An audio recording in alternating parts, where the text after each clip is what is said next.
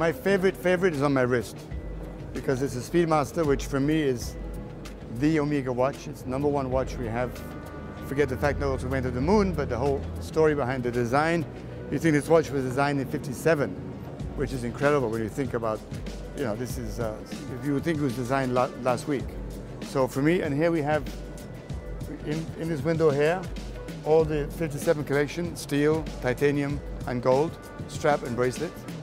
You know, Speedmaster remains something very iconic, but people have related this only to the moon story. I think people forget that, in fact, it was a whole collection on its own right, and it has incredible history on, on its own right. So.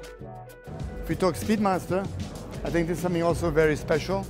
You know, in the watch business, ceramic has been popular for many, many years. Omega's never really gone into ceramics, but we felt we've done a lot of research. We now we've developed a system that we can really be happy that we can really have a watch that will last for decades and generations. And here's a, we call it the dark side of the moon to give a little fun to it because in fact it's the watch that went to the moon that we've done in, in, in ceramic.